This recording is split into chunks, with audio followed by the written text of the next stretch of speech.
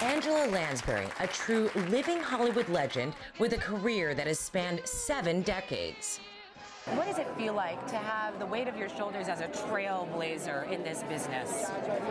Well, uh, it, to have the opportunity to be a trailblazer, if you can carry the load, you know, it's uh, a non-stop affair. At a vibrant 91 years young, Lansbury was recently honored with the Legend Award at the LA Press Club National Arts and Entertainment Journalism Awards Gala for her contribution to the industry and to society. It's wonderful to be recognized by the place that you started. This is where I began my whole career. Born in England when Lansbury was nine, her father died from stomach cancer.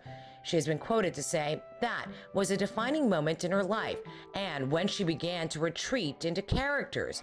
Her mother, also an actress, eventually relocated the family to Los Angeles, living in a bungalow on Laurel Canyon. And it's been a rather interesting career, let's put it that way. Her illustrious career includes classic movies. At 17, Lansbury landed a supporting role that would change everything, starring opposite Ingrid Bergman in the film Gaslight. That role would earn Lansbury one of two Oscar nominations for Best Supporting Actress. Lansbury also starred opposite Elizabeth Taylor in the classic film National Velvet. Horses. What does it feel like to be in love with a horse? And TV in her most beloved and recognizable role for 12 seasons as Jessica Fletcher of Murder, She Wrote. It has endured in the most incredible way, not only in this country, but all over the world.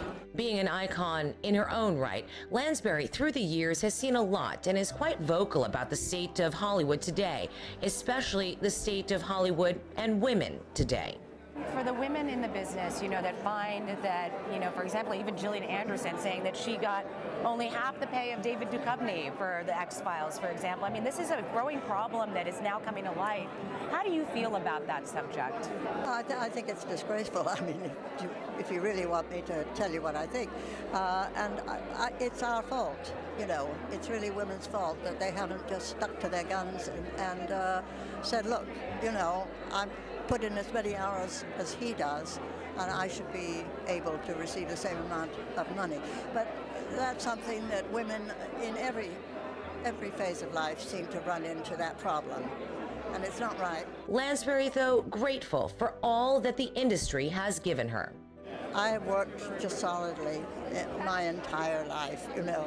I have never laid out for any time. In fact, the, the time that I'm enjoying at the present time is the first time off I've had in years. So uh, I like it, but I don't like it. I'm so used to working. And to sum this grand career all up, the only way a Hollywood legend can I've had a fascinating life as far as being an actress. And we have been entertained the entire time. Thank you, Angela Lansbury. In Los Angeles for BA, I'm Cher Calvin.